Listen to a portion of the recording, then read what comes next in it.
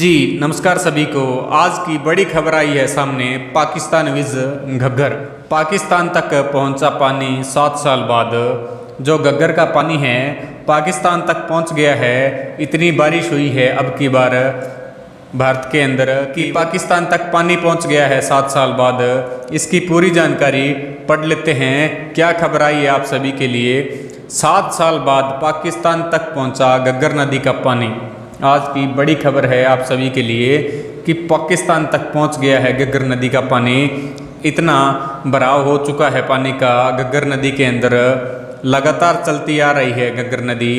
इसकी पूरी जानकारी क्या है, पढ़ लेते हैं। इस बार अधिक बरसात होने से गग्गर में निरंतर पानी चल रहा है। जो लंबे समय से पानी चल रहा है गग्गर नदी के अंदर, वो पानी अब पाकिस्तान तक पहुँच गया है सात साल बाद। ये आप सभी के लिए बड़ी खबर है कि पाकिस्तान में सात साल बाद पानी पहुँचा है गग्गर नदी का। पूरी खबर पढ़ लेते हैं। हिमालय की पहाड़ियों, हिमाचल, पंजाब व हरियाणा में हो रही बरसात के कारण इस बार गग्गर नदी में पिछले करीब एक माह से लगातार पानी का बहाव जारी है।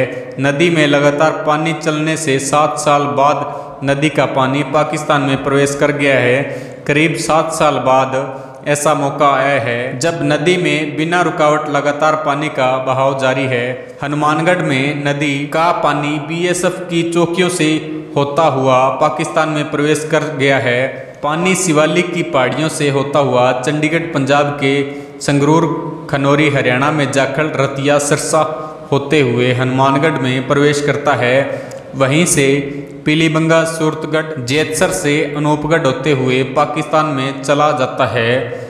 इस पानी से हनुमानगढ़ व गंगानगर में एक लाख हेक्टेयर फ़सलों को फ़ायदा होता है। साथ ही पाकिस्तान में भी फ़सल उत्पादन बढ़ जाता है।